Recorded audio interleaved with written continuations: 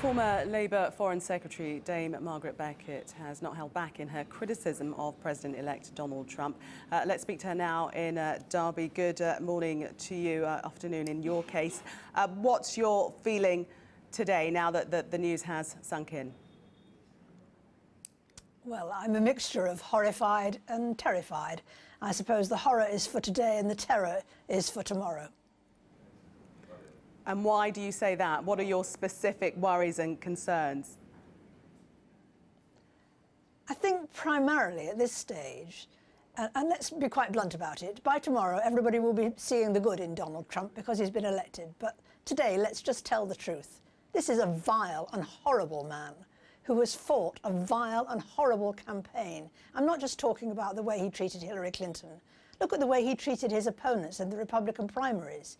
He insulted them, he sneered at them, he told lies about them, he insulted their families. This is a horrible man. Now, let's hope he was pretending. And in reality, he's this nice, sweet person I'm sure we'll all be hearing about in the next few days. Do you not take any comfort from his uh, speech, very reconciliatory speech? He was calling on wounds to be healed, to the divide to be uh, brought together different sides, different factions that actually he may have caused through, throughout the campaign, but he was calling for a united America. Does that not give you any confidence about the direction that he wishes to travel in?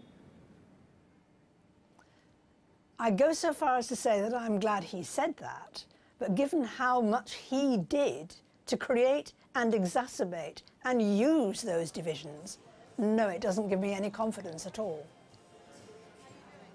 He has a mandate, a clear mandate now, and he, he spoke to Indeed. very many people, very many people who perhaps previously thought they weren't listened to. Uh, what they voted against is the establishment. They voted for him because he could provide something that hadn't been provided before. They wanted change, and he has, well, he says he will bring about that change.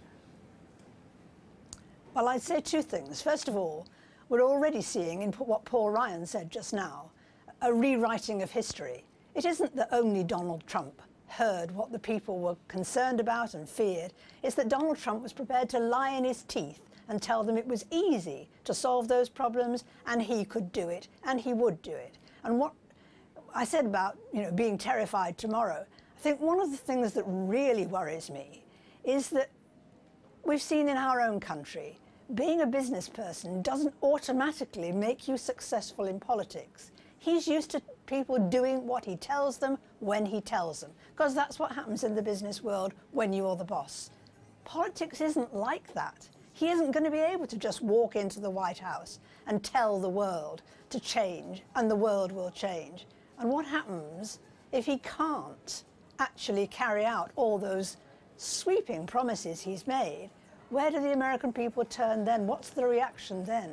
That's what's really worrying. Do you not think, though, that he will be a strong leader because of his experience in business and he's used to making things happen? No, frankly, I don't. I've seen a, a, lot of bluster, a lot of bombast, a lot of unpleasantness. He has appealed to the worst in everybody's nature and brought it out and encouraged it. This is a man who, when somebody heckled him at a rally, called on his supporters to beat him up. He's called for Hillary Clinton to have her security guard taken away. He even insinuated that people who didn't agree with her about gun control perhaps should think about shooting her. What kind of a man is that?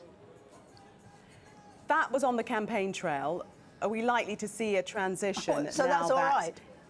No, I'm just saying, are we likely to see a transition now that, that he is to be the leader of the free world? That was a, a lot of uh, rhetoric, perhaps yeah. it was part of the campaign, part of the, the showmanship. But now that he is president elect, will we see a different Donald Trump?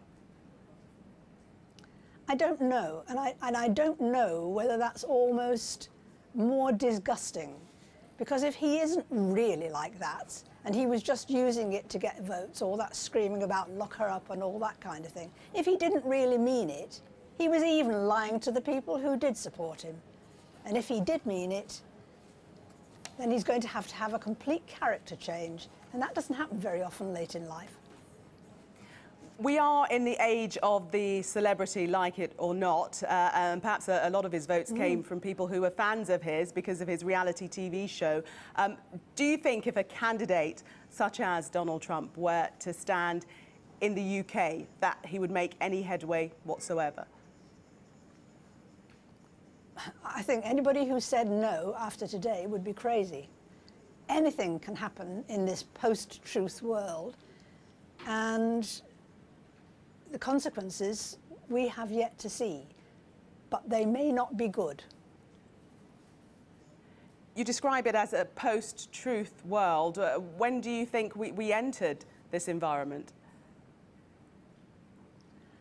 I think it's been coming on gradually. One of the things that people have been noticing and writing about increasingly is, that, and this may particularly be true in the United States, perhaps more than uh, in a country like this, but it's possible to get through life listening only to the news channel that tells you something you already agree with, reading only a newspaper that says something you already agree with, hardly ever mixing with people. Uh, that, I think is how you got the delusion last time that Mitt Romney had beaten Barack Obama because the people who supported him were talking only to each other and people like them.